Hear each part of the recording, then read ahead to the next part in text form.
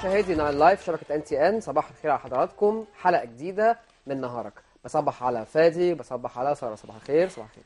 صباح النور صباح النور على كل الناس اللي بتشوفنا النهارده. أكيد هيكون معانا فقرات آه، كلها. هتكون عن الأحداث اللي حصلت أمام ماسبيرو امبارح.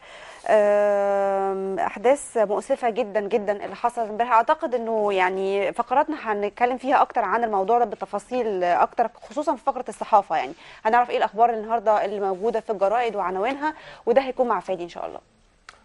صباح الخير مشاهدينا مش عارف أقول صباح الخير ولا البقية في حياتكم. آه، العزاء لكل أسر شهداء أحداث امبارح.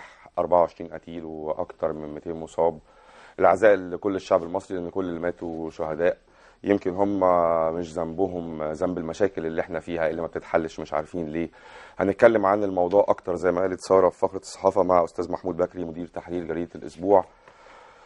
يا رب يعدي الأيام دي على خير على مصر عشان بقاء الأوضاع على ما هو عليه. صعب جدا وصعب جدا على كل المصريين إن هي فجأة تتفزع على مشاكل ما بتتحلش. ومش عارفين ليه ما بتتحلش. قانون دور العبادة مطروح قانون آه، منع التمييز مطروح والمشاريع موجودة وما بتطلعش من الأدراج. نداء إلى المجلس الع- العسكري أرجوكم انجدوا الشعب المصري عشان كفاية علينا كده المصريين في حالة فزع.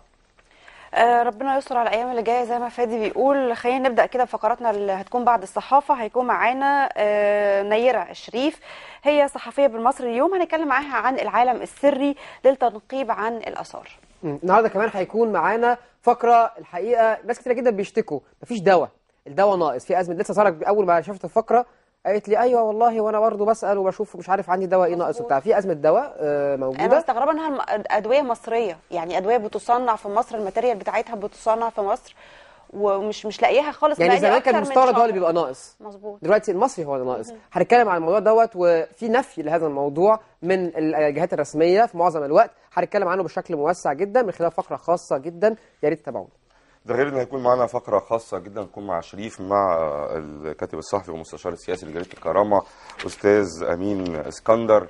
هنتكلم معاه بالتفصيل عن ما حدث أمس وإزاي ممكن نحل المشاكل دي وإيه المطلوب في اللحظات دي. لكن تعالوا نبتدي الصحافة بعد الفاصل.